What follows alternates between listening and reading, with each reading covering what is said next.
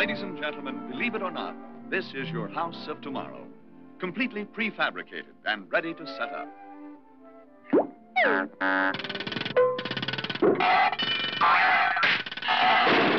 And there it is, modern in every respect. Why, it even has a separate entrance for each member of the family. For Fido, for Junior,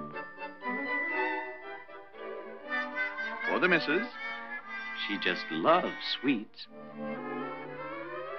for Dad, and an entrance for the mother-in-law. Come inside, won't you? The trophy room contains many rare exhibits of the hunt. Killed June 8, 1925. Killed April 20th, 1933. Killed September 3rd, 1942. This modern little wonder relieves Mother and Dad of the problem of answering Junior's many questions. Why does it rain? How old am I? I want a bicycle. Did the stork bring me? Can I have some candy? What's a Republican? I want a nickel. When do we eat? Is Santa Claus real? Can I go to a show? Can I go to a street? Can I go to one? The new all-purpose guest chair adjusts itself to fit any type visitor. For the tall, for the short, and for the mother-in-law.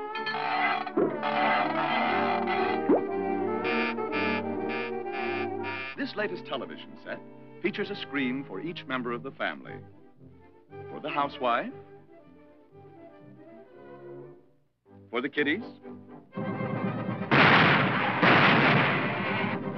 and for the tired businessman.